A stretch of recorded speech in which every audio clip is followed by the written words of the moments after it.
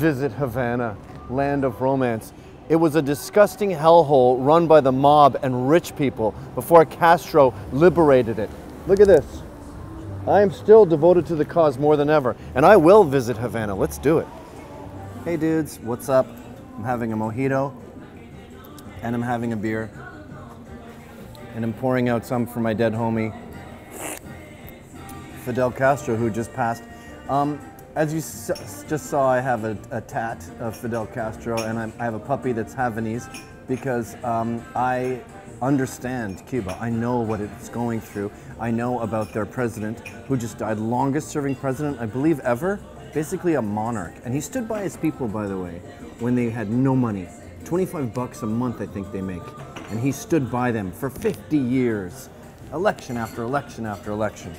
Um, and I know all this because as a Canadian, I was allowed to go there. And they talk about how horrible it is there. We stayed at a, a resort that was linked to Delta, I believe, Holiday Inn or something. Endless beer, uh, buffet tables every night. There was a pool, there was activities. Yeah, really horrible place. Yeah, capitalism is evil. I mean, check out some of these tweets that people are saying. They're mocking Justin Trudeau, by the way. Uh, well, not everyone. Jill Stein was cool. Uh, Barack was pretty awesome. He'll be judging history. And then uh, look at uh, this statement that uh, uh, Justin Trudeau put out. He just said, here it is on the screen. You can see he's saying that he was uh, larger than life, that he served his country. Yes, that's all true. He and he was a, a long-serving president. Like, what's the problem with that statement? Why is everyone making fun of him? And why are you bringing in all these other people like Pol Pot? Pol Pot killed millions of people. Fidel killed like 7,000. That's nothing. In fact, I bet Trump will kill more than 7,000 before he's even president. There's been over 7 million hate crimes since he was elected.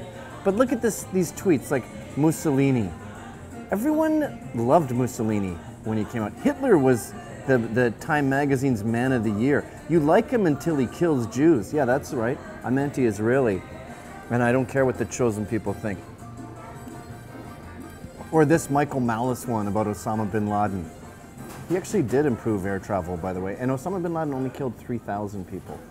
Uh, Stalin, Stalin uh, killed 30 million, but if you read through, if you check out Ol- Oliver Stone, you realize that it was mostly America's fault. It was mostly capitalism's fault. It's all here. You just Google it. Capitalism is fucked up. And the, the, the other criticism you get from about Castro a lot is that oh he slept with all these women, he's having all these affairs. Yeah, it's calling it's called being sex positive. He loved life. He loved people. Remember the beer? He would say, "You can tell the beer people by the." Uh, he spoke with an Italian accent for some reason. By their big, big beer bellies, he would say. And yeah, he liked having sex with beautiful women because he loved women because he was a feminist. You know, you hear the same thing. Justin Trudeau's getting all this shit, and his mother got shit when his dad was prime minister for being a libidinous, sex positive woman who proudly showed her private parts. And she was at Studio 54. Uh, she was with the Rolling Stones. She was shit. She was hanging out with Fidel about nine months before Justin was born, and then she brought the baby for him to see after. That's kind of weird. Nine months. Hi,